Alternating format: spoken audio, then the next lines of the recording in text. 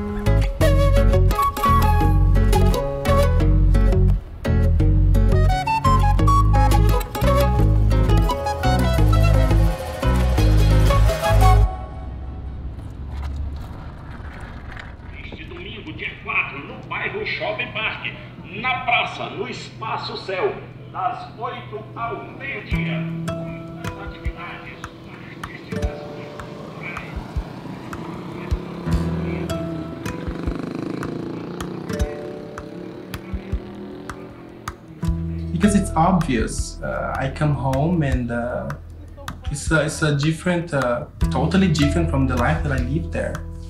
Of course, I love my family and all of that. But the main reason why I come back is my grandmother. There's, you know, she's the woman that to, to build me. You know, like there's so much of her in me, and uh, I come back because of her. I have such a strong connection with home. There's so much fear, anxiety, happiness, sadness connected to home. Home here, Brazil, Uberlândia, it's a place that brings all these emotions all the time. And it's timely too. That's good. So I become I become much more sensitive when I come home because I live in Amsterdam in a in a bubble. So I'm not really connected with what's going on all the time as I'm here. You know? Here I see things on the news and I see things on the streets. So it's not only the news, it's like reality like on my side and I, I'm not exposed to that in Amsterdam. Você é muito especial. Isso é tudo isso que todo mundo quer saber. e é o que você é. Tá? Uh, when I was young, I was very uh, outgoing, never shy. I was always not at home. I was always doing something out, either at, at the neighbors or the, the street above, um, and just playing around, and a lot of dancing, a lot of music involved. Um, and in this area that we used to live, it's like this little town has, I think the area is it's called Esperança. It's called it's called hope, which is sarcastic because it's, it's there's no hope there. There is hope, but it doesn't look like we're just just lost. This area had, I think it has eight streets, and that's the whole area. So everybody knows each other, a lot of kids. Um, and I was always in the middle of the crowd. I was always catching attention. Some attention were good, but most of it were really bad. I was very bullied, and I was called uh, many names as a kid. I was made fun for the way I talked, for the way I walked, and and also for my dancing. But it was something so um, coming to me so many times a day that I kind of got used to it. That it didn't affect me anymore. I kind of became numb to the to the mean comments and to the bullying. So I was just I was just being me. I tried many times. My mother would tell me, Daniel, can you can you stop? And I would try, but I never could. People really liked the way I danced when I was young. My mother was very embarrassed because she thought she had only one son and she wanted me like to be playing with you know little cars and she would always bring uh, these uh, toys for me, and I would never play with them. I would go to my sister's uh, toys and and play with their toys. And it's a lot of fighting too with my sister when I was young uh, between us because I would always get their stuff and and I would always annoy them. Já lembra quando você jogou a Leidiane dentro da caixa d'água? No. Tadinha. Ela era pequenininha. Deixei a bala com você um dia, Dona Nésia testando aquele barulho. Correu lá, você tinha jogado ela dentro da caixa d'água. Uma caixona grande, cheia d'água, e ele catou ela e jogou lá dentro. because I was the only boy, I was never gonna be punished. So I would like get them into trouble, and then when seeing them, you know, being punished for something that I did, I would be looking at them and laughing and pointing. I was. So you have an idea. I was that kid.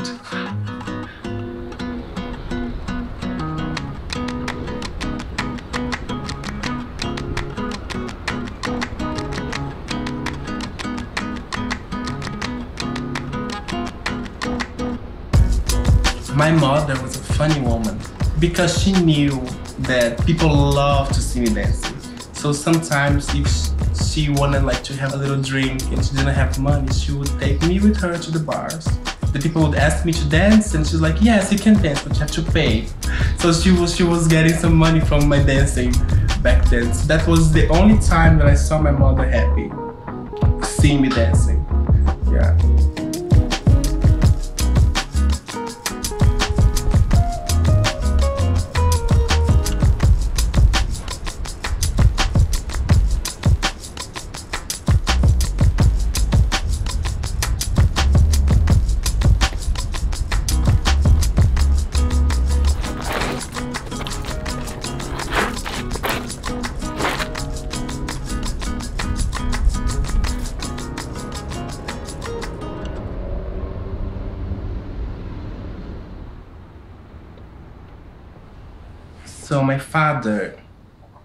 He was around, but not much because of his his work. And I remember when we moved into this last place we we we, we lived together as a family. Um, he was there more often than than ever until he to the day he went to prison and that's something that I don't want to talk about what he did because it's it's a sensitive uh, topic for him, and and I want to respect that. So he went to prison, and then we were left uh, with my with my mother. I was left with my mother and my and my sisters. I had a very strong relationship with my older sister um, because she was always there, uh, taking care of me and uh, taking me places and make taking me to take a shower and putting clothes on me and making food for me. So, and she would play and we would talk and we, we were like very tight. And the relationship that I had with her was stronger than with my mother because she was my mother was always uh, out and always uh, drinking but she loved us. She really did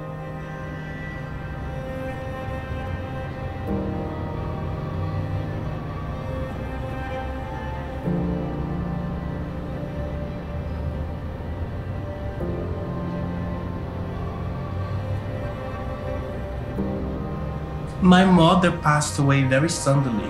There wasn't a progress. She didn't get sick, and you saw that she was not gonna make it. She she had, from what I know, she had been out partying and drinking as usual, and she got in a in a fight with a cousin of hers, and and I was told that he hit her in the head with a piece of wood and she passed out. And then she got better. Then she went home. And the next day she had a purple eye and um, she she was in bed the whole day and just feeling very hangover. And I remember she would ask me to go to the to the bar and buy her alcohol, what we call the one that she used to drink was pinga. It's just pure pure alcohol, similar to vodka, I think. And um, so I went to get her uh, her drink because she would drink the night before, get really hangover in the morning, and her way of curing the hangover was to drink more alcohol. So I went to get her her alcohol, and she had a little little. Uh, she would take the top of the bottle, put the alcohol in, and she would have a sip. So she had her sip, and then I went out and I played as usual. I wasn't really concerned. I didn't really understand. I was really young. Then I came home and she wasn't feeling so good. And my uncle took her took her to the hospital. And yeah, she never came back alive.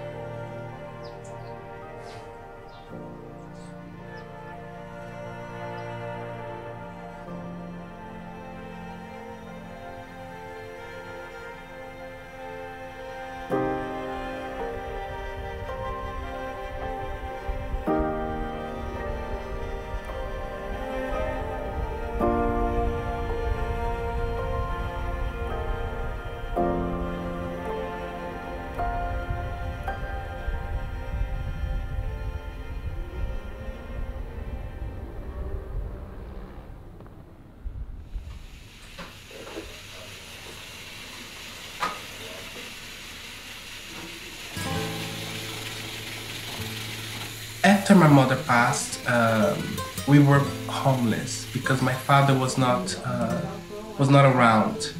I remember my older sister. She stayed in the house with my second oldest, and then me and my younger sister we were separated. So each of us went to live with somebody different, and then I went to live with my grandma by this time my younger sister also came to live with with her. I think there was a um, something going on because i think if my grandmother did not uh, take us to live with her i think the government or, uh, they would put us in a social house to be adopted. Or something like this that was happening. So she she took us so she could take care of us. During that time all the responsibilities of having a younger sister came to the picture. Because then, what my older sister was to me, I became to my younger sister. So I was her parent because my grandma was working uh, five days a week the whole day.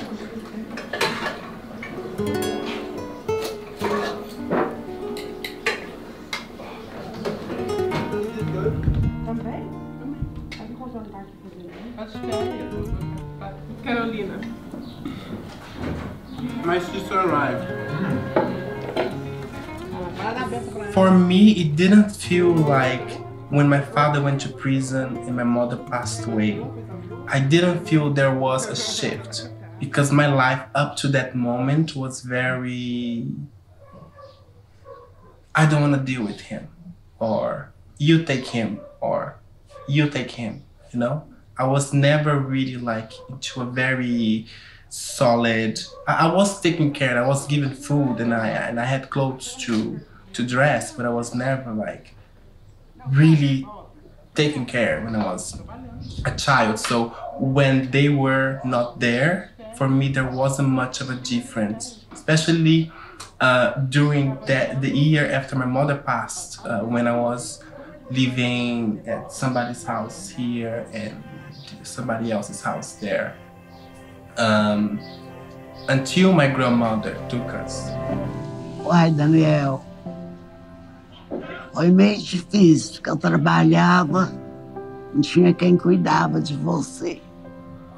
Aí eu fui te buscar, você ficar uns dias, de repente eu achei que não dava certo, aí você ficou direto comigo.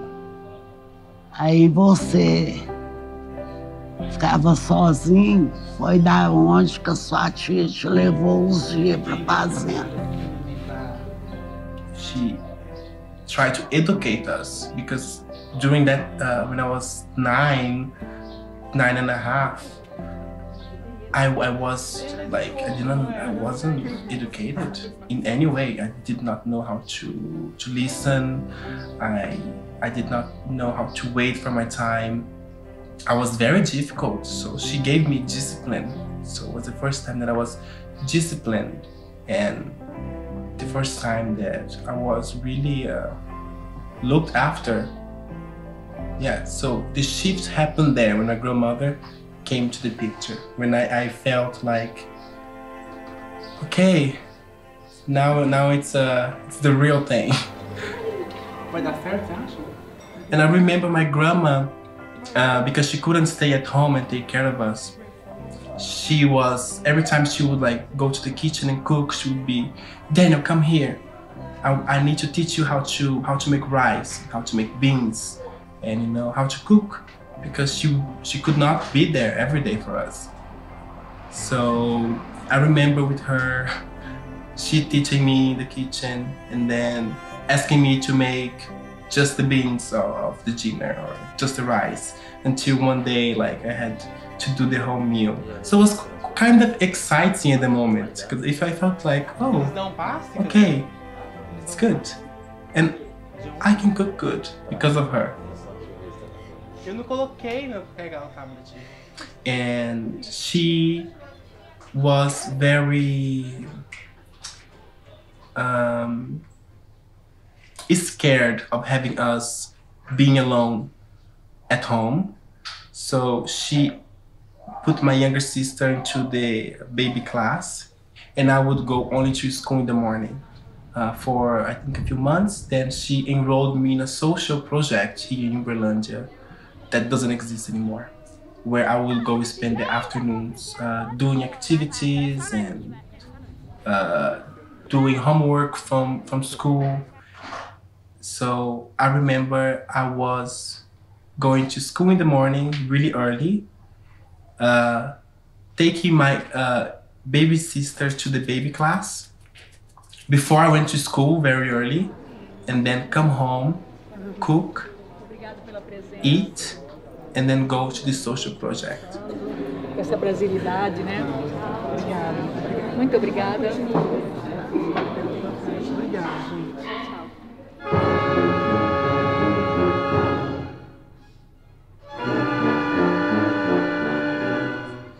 I remember there were a lot of uh, activities there. There were there were uh, sports, there were artistic like drawings, there were computer classes, and and there was ballet as well.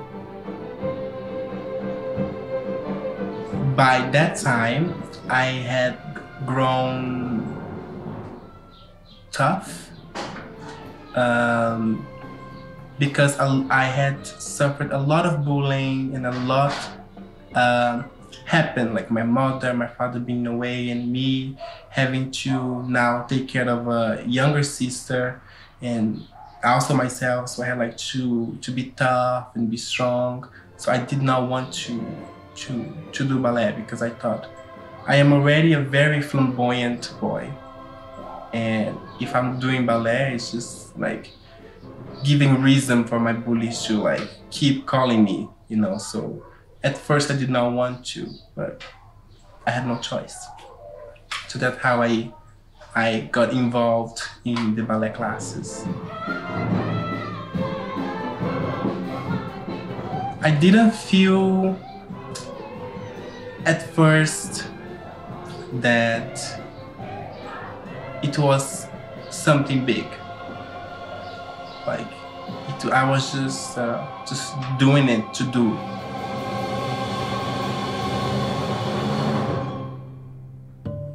I remember I had a friend who started with me, and in class uh, he was always the one that the teacher was looking at or or giving compliments and i was always the second one so there was that competitive uh, thing in class who who is going to do better it's not that if i liked it or not i just wanted to do better than him and I remember we were doing the, the ballet classes and, and fighting a lot because like if the teacher would give him a compliment, like I would go and fight with him.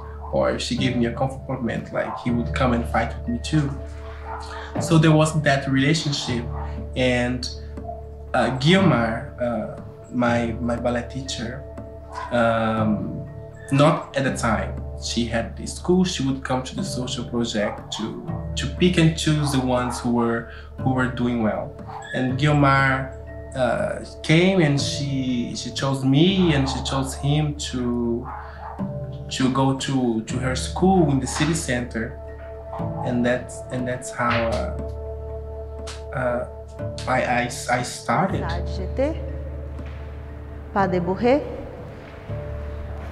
Tandy, aqui, temps de poisson. Isso. Aí. J'étais temps levé, tombé, assemblé. J'étais temps levé, brisé, volé, desci, brisé, volé, dessous. Glissade, j'étais, pas de bourré, tandi e temps de poisson. Eu tinha um projeto numa instituição aqui em Uberlândia chamada LAR, Nessa instituição, da qual o Daniel fazia parte, eu selecionava as crianças para o projeto Pé de Moleque. Foi lá que eu conheci o Daniel e de uma maneira bem inusitada.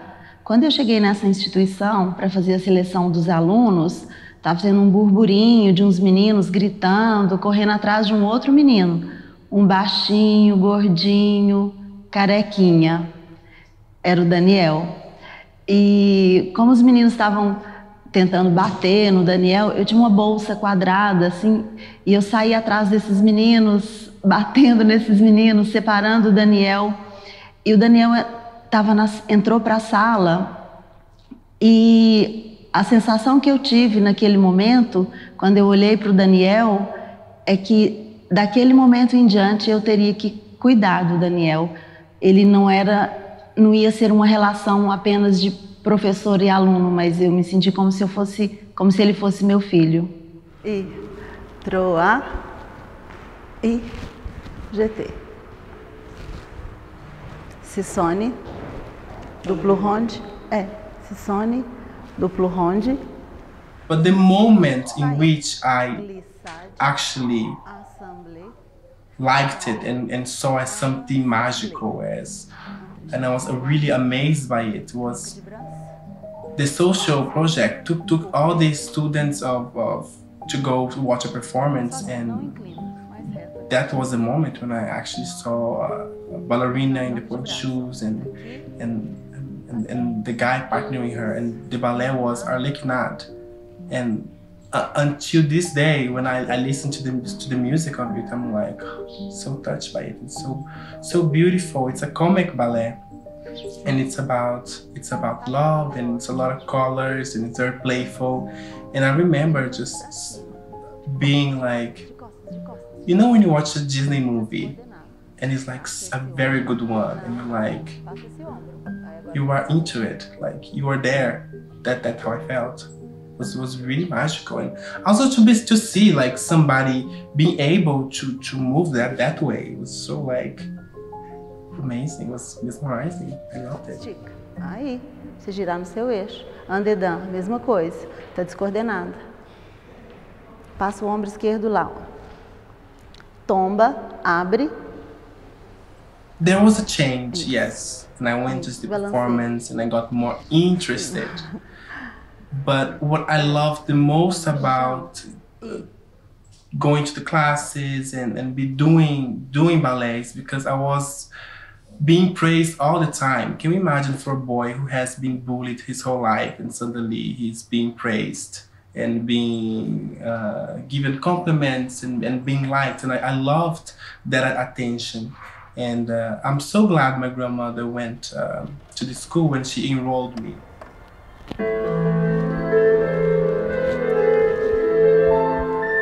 E. Subiu. Continua subindo na pirueta. E. De costas. E. E.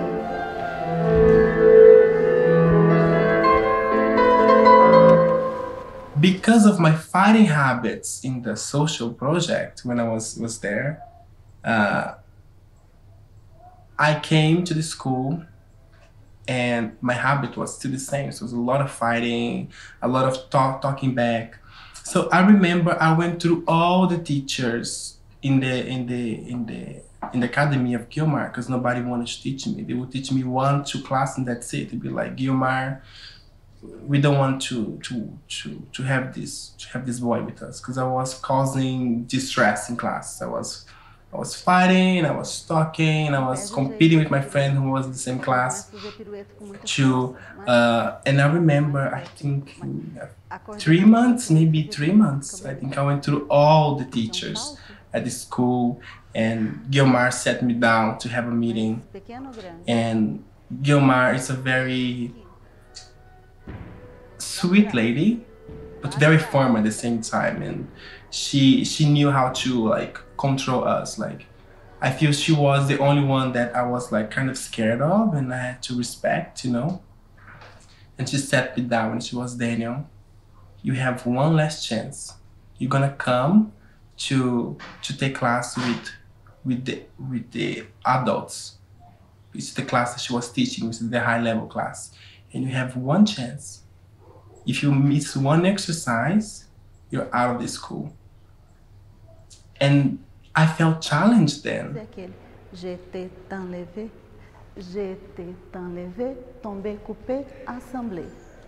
Now I think I understand that the habit that I had of fighting and not really being there present, it was because I felt like now I I think because I felt I wasn't being taught enough or it was too easy because I always had facility to dance. I was I was flexible and everything. Like I never had really difficulties in the classes. So I felt it was going a bit slow. So I would be distracted and I would be talking. I would be playing. I would be fighting or I don't know.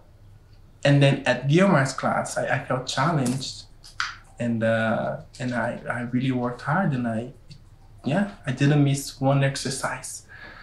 Yeah. Depois, no 1, 2, 3, frisa o primeiro tempo. 1, e aí rápido, 2, 3.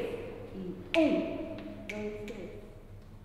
Uh, no Brasil existe um preconceito muito sutil, que as pessoas elas sorriem, mas na hora das oportunidades, as oportunidades não vêm. Então, para um bailarino negro, de periferia, é muito difícil ter uma chance aqui. Primeiro, porque a dança é uma profissão muito recente entre nós e ela carrega todas as mazelas de todas as outras profissões. Então, o que eu acho que o Daniel tem conseguido é mostrar para as pessoas que você não pode desistir, mesmo sendo minoria, mesmo tendo imensas barreiras, você tem que persistir porque isso pode não reverter para você, mas pode reverter para outras pessoas que estão vindo e que vão ajudar a construir esse caminho. E como já dizia o poeta, um caminho se faz com muitos passos, você tem que dar o primeiro.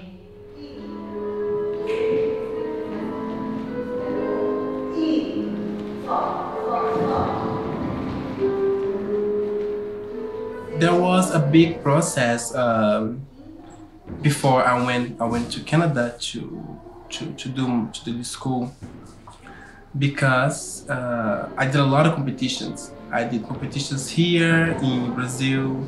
I did competitions in New York, in Lausanne, in China, in Argentina. So I was competing everywhere, and uh, I never really understood the purpose of the competitions. I was just going because Guiomar was taking me and of course and also chance for me to to dance different roles and like to challenge myself. And um, then I went to the Prix de Lausanne 2012 when I was a finalist. And the, the main goal of that competition is to for, for a student to get a, a, a scholarship. And and I did just that. And um, me going to Canada was not a choice that I had, um, or me going anywhere to study out of Brazil was never a choice that I had in mind before until the opportunity was right there. And yeah, it was, yeah, it was very, for me, very suddenly, even though everything that I had done prior to that was leading me to that moment but I wasn't really aware of it. And I was very tricked with my grandmother uh, when I got this scholarship uh, to go to Canada because me going everywhere to compete, she had always to like sign documents and um, so I could go. And uh, I never, I was never clear to her that me going to Canada was me going away for a whole year. Yeah.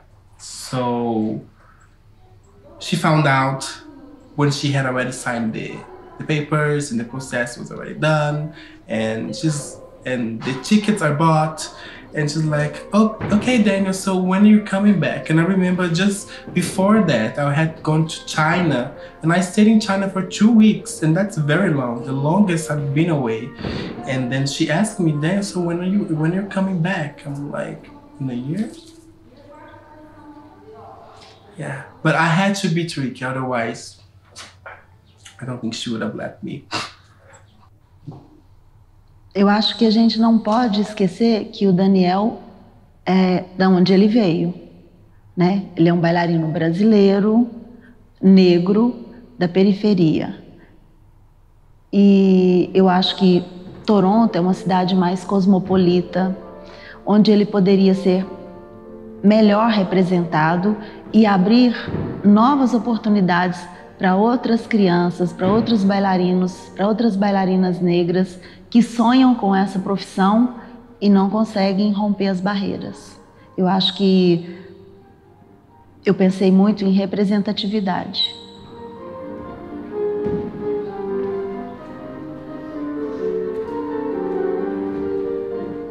Gilmar, from the beginning, she always told me, You are a dancer for the Dutch National Ballet.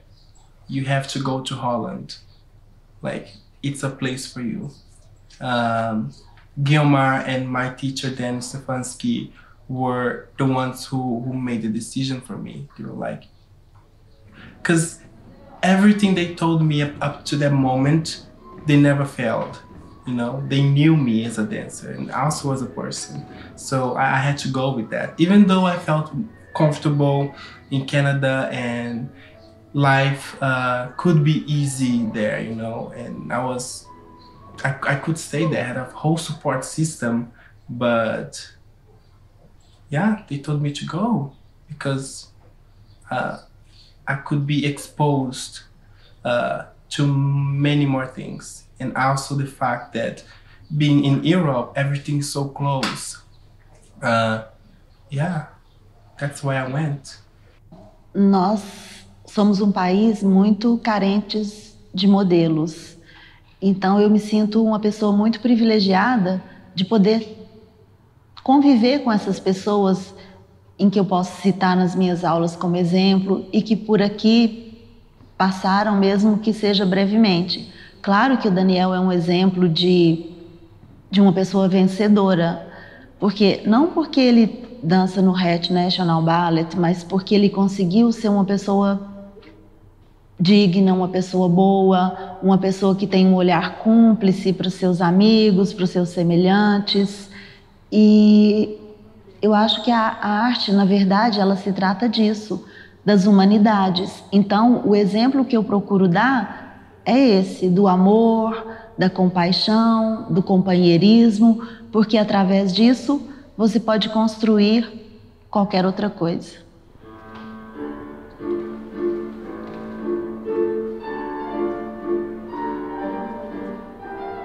The dream that I had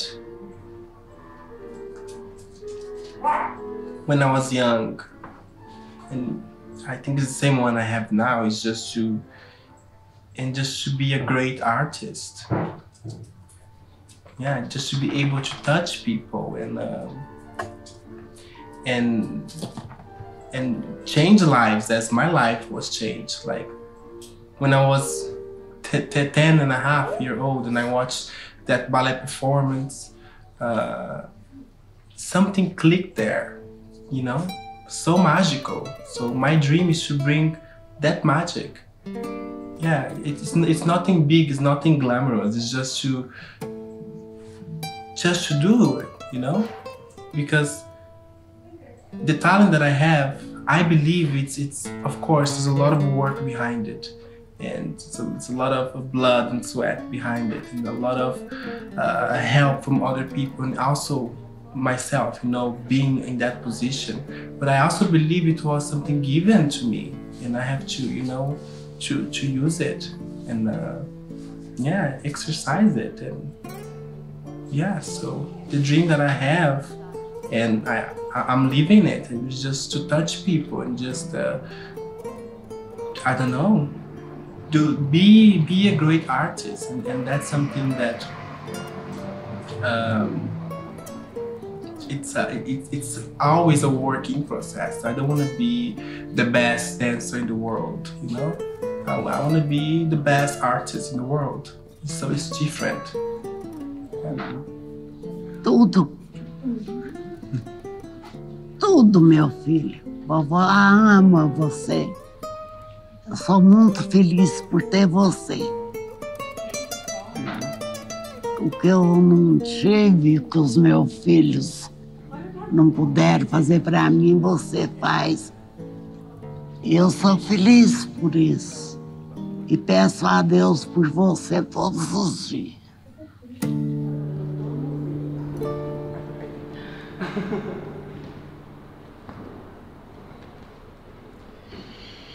Eu acho que todos nós, né, até pela minha crença, é, temos uma missão a cumprir aqui nessa nossa breve passagem. E eu imagino que a missão do Daniel é uma missão muito especial, muito bonita. E eu acho que ele vai construir uma carreira muito sólida e realmente vai poder ser um exemplo para as pessoas que, como ele, um dia sonharam em transformar suas vidas através da arte. In my time in Amsterdam, I have uh, danced many roles and I have I've been exposed to many, many great uh, people and places, and uh, I've changed so much. Uh, and I live very well. Um, and coming home, it's a it's a big contrast uh, for me, uh, which something that is not it's not new. Uh, because when I was living in Canada, I would come back home every year, and the first time that I came back home after six months, I think was the. I mean, I've been places before and I had traveled, but was not longer than a week or so. And then being living somewhere completely different and, and, and, and that's it. And then coming back home and really noticing like how life was or is still because really had, it haven't changed that much for them. It, it, it's quite, it, is quite beautiful, sad, and humbling in a way. Um, coming home for me, it's a, it's a humbling experience because I, I have in a, I live in a total, totally different environment and I am in contact every day with, with, with art, you know? And then coming home, it's very uh, eye-opening.